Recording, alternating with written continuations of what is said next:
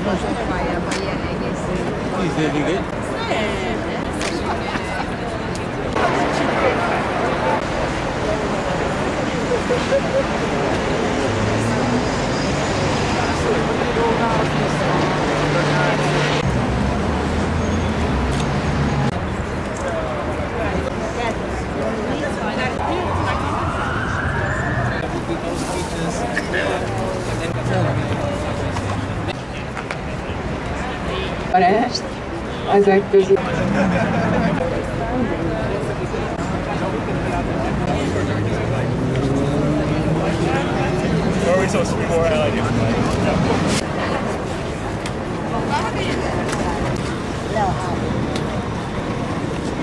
Ahmed hát 10 év fegyházra és végleges kiutasításra ítélték egy kirakat perben.